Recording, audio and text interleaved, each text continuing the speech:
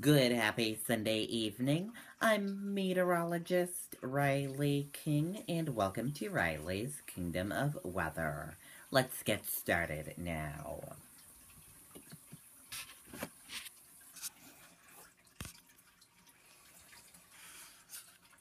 It's a live look on radar right now. As you see on radar, it is all clear in New Hampshire. Now let's take a look at your weather for tonight.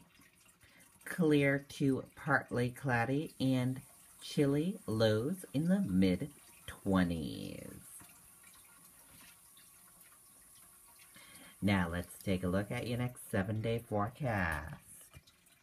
Here's a look at your next seven-day forecast. And now let's take a look at your traffic. As we see on traffic, we have green roadways in New Hampshire. Traffic is moving good tonight. And that does it for Riley's Kingdom of Weather. I hope you all have a great night, everyone. Goodbye.